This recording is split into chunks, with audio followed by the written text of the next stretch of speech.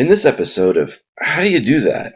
We're going to look at how do you check to see if you can use your phone on Ring Plus.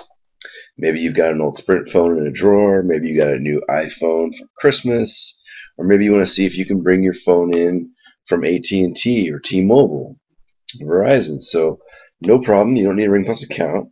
You just need to go to ringplus.net and then in the top here, you can click on BYOD and that means bring your own device. So it brings you down here, tells you a little bit about it, but what you really need to do is click on this button right down here. And this takes you to our check tool. Now the check tool, you simply enter in the ESN or MEID for your phone and then click I'm not a robot and then click check my device and it will either tell you your phone can be used or cannot be used. That's how you do it. Now, what is the ESN or MEID? And where are they? Well, on an iPhone, like the text right here will tell you, you just click on Settings, and then you click on General, and you click on About, and the iPhone will actually tell you this kind of information.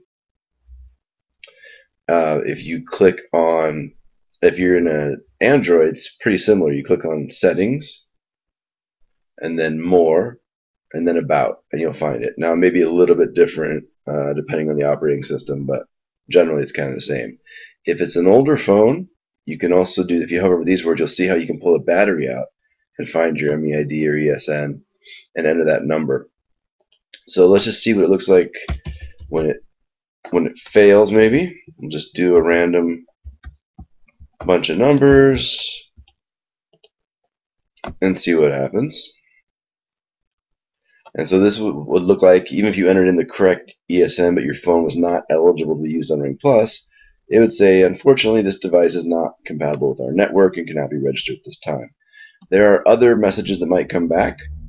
For example, this device is not financially eligible, which might mean you owe money on the phone or you owe money on a contract and you have to take care of that before you can come over to us. Um, or it'll tell you, great, you're all set to go, no problems.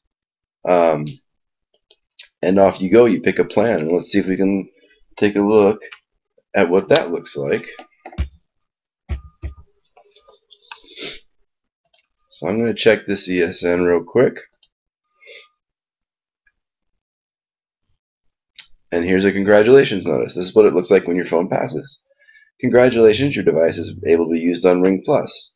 And so you can sign up. You can go shopping down here uh, and shop for whatever plan it is that is currently available that you wanted to use. So paid plans, the free plans, whatever. Uh, for sometimes when running promos, what you'll see is that you have to log in above and it requires login. Like this is a free plan promotion. You have to log in over social media. Um, you can see our video on how to connect your social media uh, for that information. It's actually pretty easy. You could just sign up and figure it out. Not hard. Um, and that's how you check if your phone will work on Ring Plus.